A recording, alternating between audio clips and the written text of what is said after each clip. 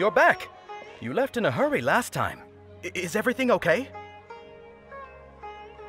Everything's fine. Just, um, it's a little hard to explain. Uh, would you mind taking part in a little experiment with us? An experiment? That came out of nowhere. I'm listening, though. Could you make a wish? You want me to make a wish? Is that a new Sabzeruz festival tradition or something? Wishing! Okay, my wish. My wish. Um, okay. I'm a little nervous saying this out loud, but I want Miss Dunyarzad to be happy. Oh, I noticed earlier that she looked a bit down, and she wasn't really talking to anyone. She just doesn't seem like herself. She's always so gentle and kind, and all the kids love her. I've also wondered if the reason she asked me to be Fairest Knight of Flowers is because I'm special to her, or something. so you have a crush on Dunyarzad? Oh, is it that obvious? Hmm, After what I just said, I guess it is. When she placed the hat of the Knight of Flowers onto my head, she said to me, I want everyone to have a happy Sabzeruz festival. What she didn't realize was that I'm not that interested in how everyone else feels. In that moment, I just wanted to be her Knight of Flowers for the rest of my life. Fifty years? A hundred years? I'll serve her till the end of time. Okay, yeah, that was a bit much. Felt like the right moment to get it off my chest, but that was pretty embarrassing. Okay, I'm ready to make my wish. I would like Miss Dunyarzad to appear in front of me right now with a smile on her face. Here goes. Please come true.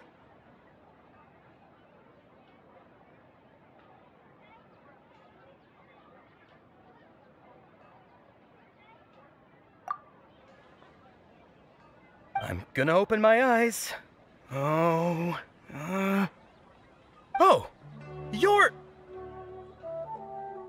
What? Fucky? Uh, Sorry, but only one portion of Yalda candies per person. Back home you go. Ah, nice try, you two. Anyway, never mind. I don't need to see her appear right in front of me. As long as she's happy. Uh, guess he isn't the host of this dream after all.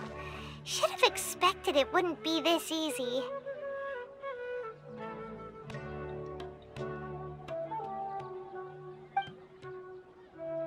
It seems like everyone who knows Dunyarzad loves her, but none of them has any idea that she.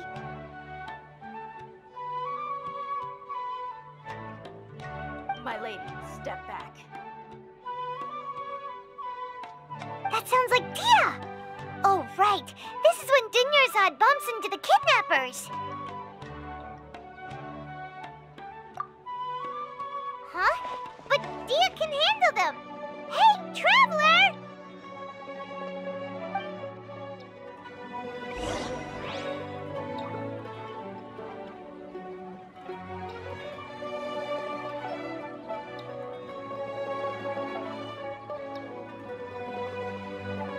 Boats are made for transferring commodities back and forth.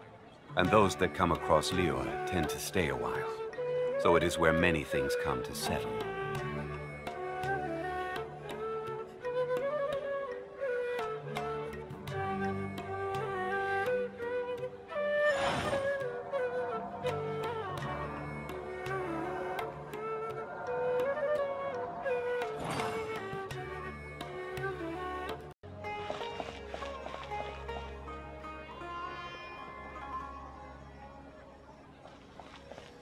Oh, it's you. Great timing. Please take...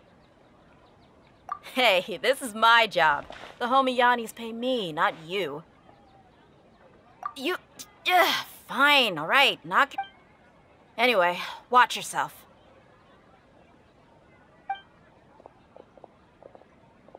So you got yourself some backup.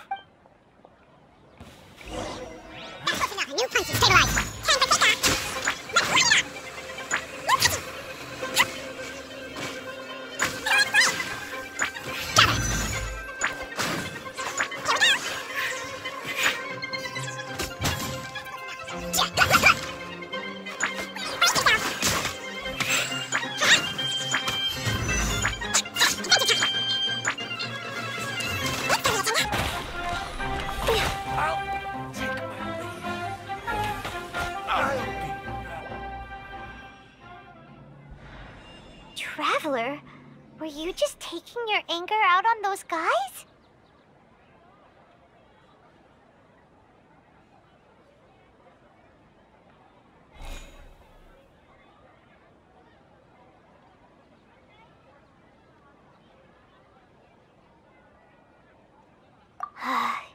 you and Nahida both.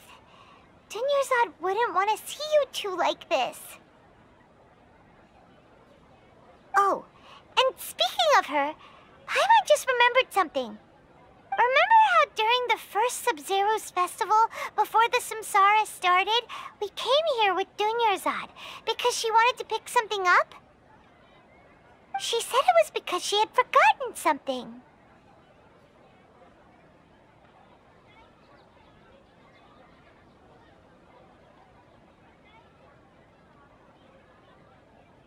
Okay, so Paimon's memory is working so far.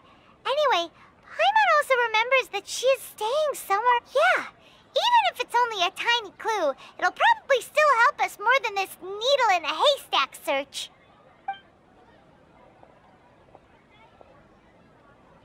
This is the place. It's rude to enter other people's spaces without permission, but desperate times call for desperate measures. Hey, the windows are unlocked. Okay.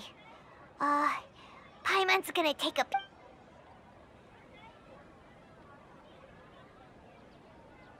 This was only a temporary residence. Should we open it?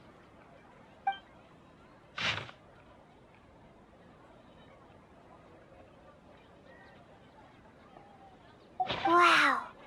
Dunyarzad wrote all of this. Sounds like she was always thinking of us even while we were away. Even though she was also busy preparing for the Sabzeruz festival and had all her health problems to worry about. She must have wanted to give this to us as a if we hadn't found this book, we never would have known. But now that we know, we can't even thank her. Hey! Where are you off to now?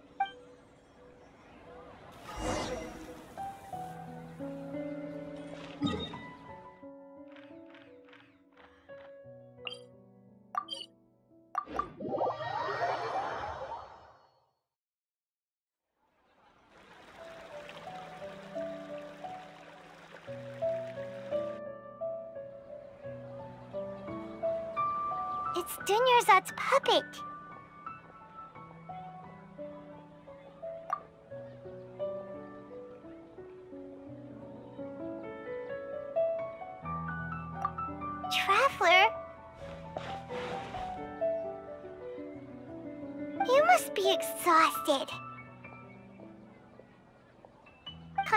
Of it, we've been stuck in this place for a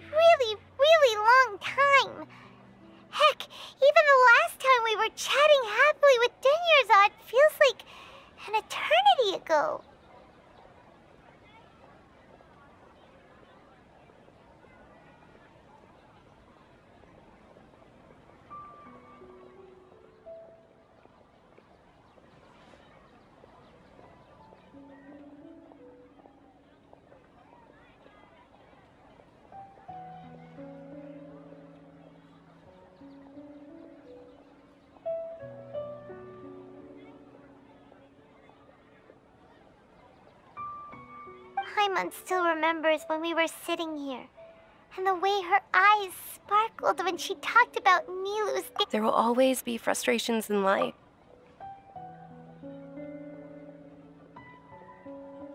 That was what the real Dunyarzad said, wasn't it? Does that mean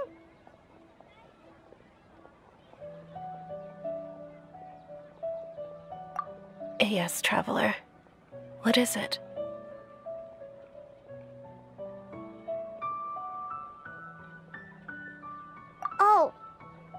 She's still just a puppet.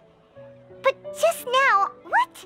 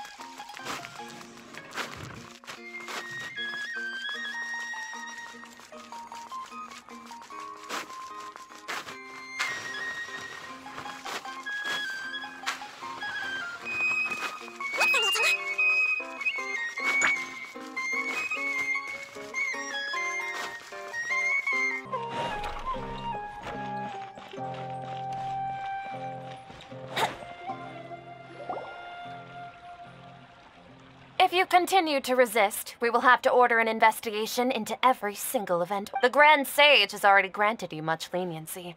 I advise that you exercise tact. How. How did things turn out like this?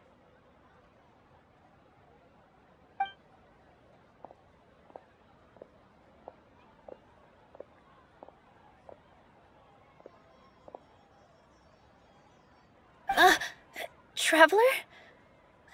Traveler. Traveler, what the heck are you doing? If you get arrested by the academia, that's another day gone to waste.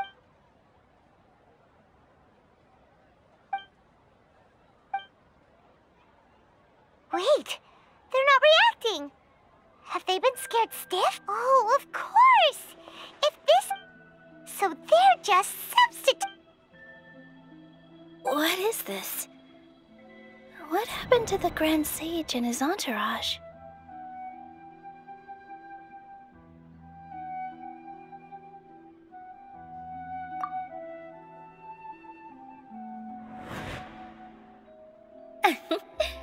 like I said, they symbolize the goddess of flowers.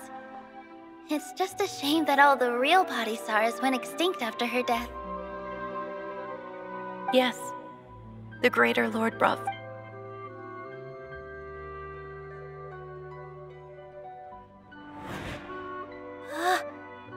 Beautiful shade of purple.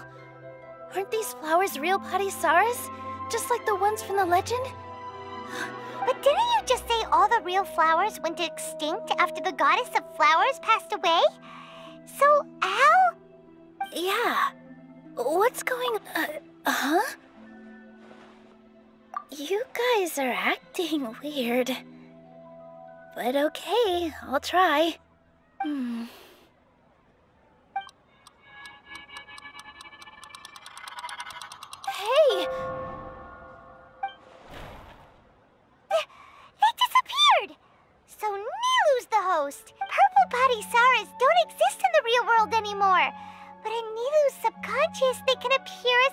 On the stage. It's just like the example Nahida told us. People assume there will be food on a plate, and so when you saw the flowers, but if we want to end the samsara, we need the host to become aware that they're. How should we make Nilou realize that? Am I dreaming? Huh?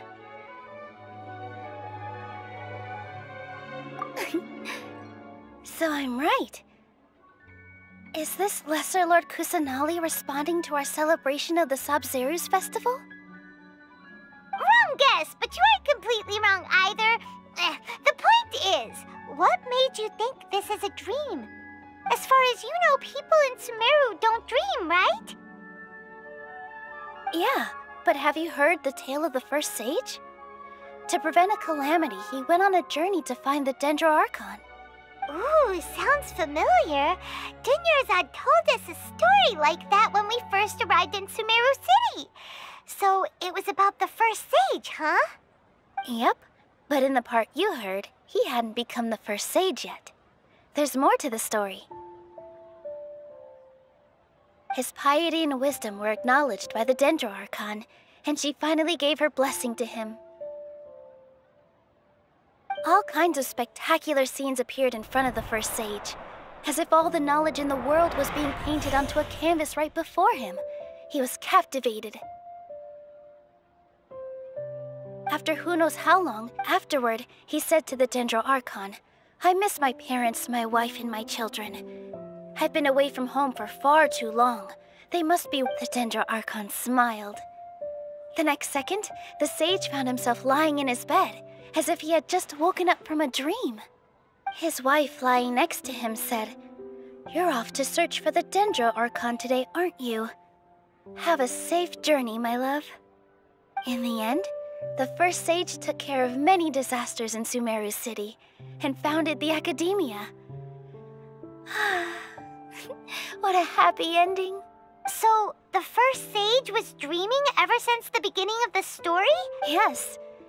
But his faith and determination were conveyed to the Dendro Archon. Paimon understands where you're coming from now. That's a really interesting connection. I see.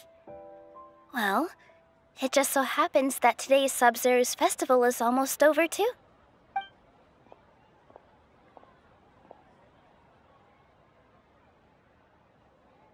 Since we're in a dream, let's make this final dance of Sabzeruz as beautiful as we can.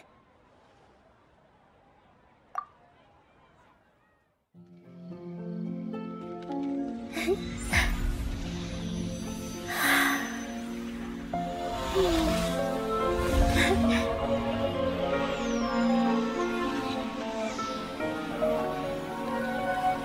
wait is over, everyone. I dedicate this to our god, the Dance of Sabzeruz.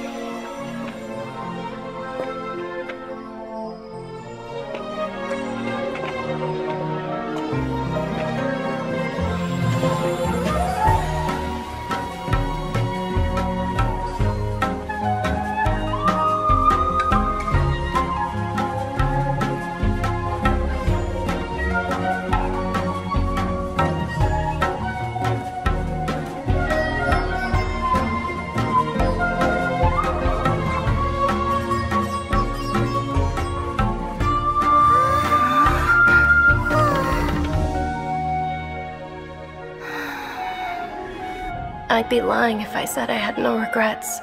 I would have loved to see Nilou's dance.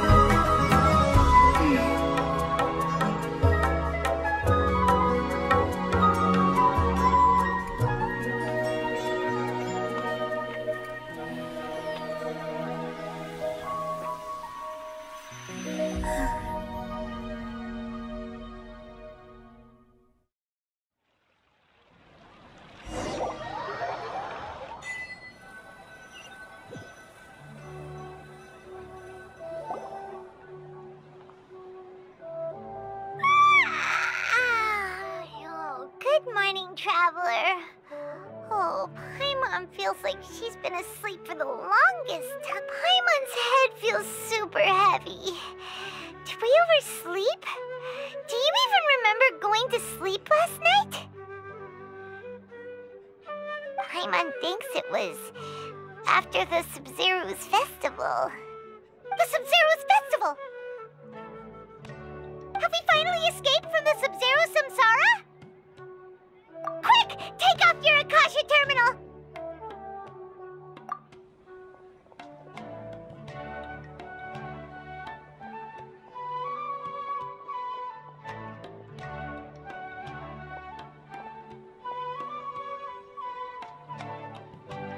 She's not in her room.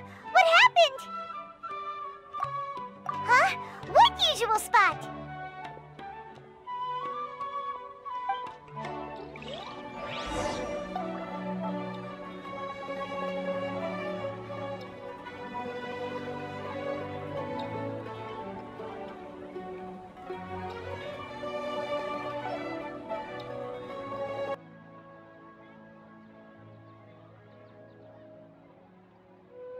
Oh, uh, Traveler Paimon, I have something amazing to tell you. I just had a dream, and I saw Nilou performing the dance of Sabzeruz.